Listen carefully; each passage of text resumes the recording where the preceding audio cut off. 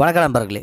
பொதுவாக நீதிமன்றங்களில் யாரை பெயர் சொல்லி அழைக்கிறார்களோ அவர்கள்தான் உள்ளே போவார்கள். ஆனால் அன்னைக்கோ வாய்தாவுக்காக வந்திருந்த அனைவருமே கும்பலாக நீதிமன்றத்துக்குள் கூடியிருந்தார்கள். நானும் ஒரு வாய்தாவுக்கு ஆஜராகத்தான் போயிருந்தேன். உள்ளே கூட்டத்தோடு கூட்டமாக எட்டி பார்த்தேன். இது சில வருடங்களுக்கு முன்னால் நடந்த சம்பவம். அதாவது மதுரையில் ஒரு பெண்ணை ஒரு இளைஞன் கேலி பண்ணுகிறான். அந்த பெண்ணின் அக்கா மாப்பிள்ளை அந்த பையனை கண்டிக்கிறார்.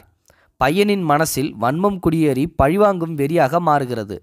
தன்னை கண்டித்தவரின் இரண்டு வயசு பெண் குழந்தையை கடத்துகின்றான். மதுரையிலிருந்து திருநெல்வேலிக்கு குழந்தையுடன் வந்து ஊர் சுற்றுகிறான்.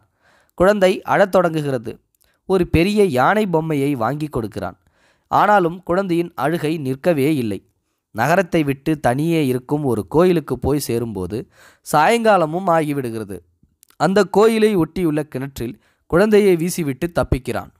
பொழுதடைய கோவிலை சாத்த குருக்கள் வரும்போது குழந்தையின் முனகல் கிணற்றுக்குள் இருந்து கேட்க குருக்கள் எட்டி பார்க்கிறார்.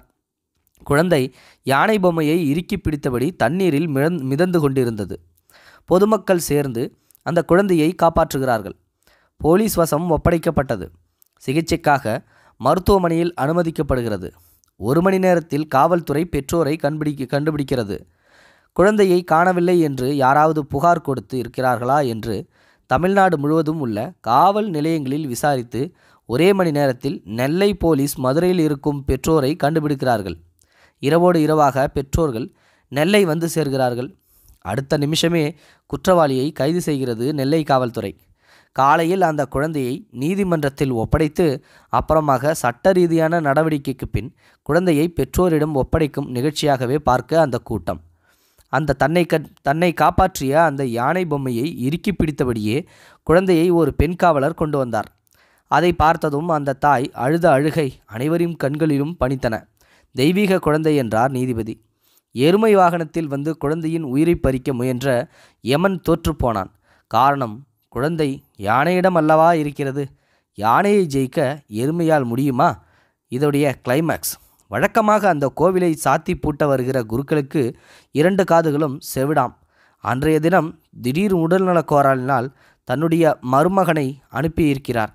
அது காது கேளாத குருக்கள் அன்றைக்கு வந்திருந்தால் அந்த குழந்தையின் முனங்கல் சத்தம் கேட்டிருக்காது. குழந்தை இரவு முழுக்க தண்ணீரில் மிதந்து விரைத்து இறந்திருக்கும். இந்த புரிந்து கொள்ளுவர்களுக்கு புரியும். இதற்கு பெயர்தான் கடவுள் என்பது. அதாவது நம்மளுடைய கணேசன் அவர்கள்தான் யானை பொம்மை உருவத்தில் வந்து அந்த குழந்தையை காப்பாற்றியிருக்கிறார் என்பது எல்லோருக்கும் தெரிந்த ஒரு விஷயம்தான். இது சில பேருக்கு புரியும் சில பேருக்கு புரியாது. உண்மையிலுமே ஒரு அருமையான பதிவு தான். பொம்மையாக இருந்தாலும் அது யானை பொம்மை அதாவது கணேசனுடைய பொம்மை. அந்த பொம்மையால் தான் வந்து உயிர் பிழைச்சிருக்காரு. அதாவது யமன் கிட்டேருந்தே வந்து கணேசன் குழந்தையை காப்பாற்றியிருக்காரு அப்படின்னு சொல்லி சொல்கிறாங்க இது உண்மையிலுமே ஒரு அருமையான ஸ்டோரி தான். இதை பற்றி நீங்கள் என்ன நினைக்கிறீங்கன்றதை மறக்காமல் கமெண்ட் பாக்ஸில் சொல்லுங்கள் நன்றி வணக்கம்.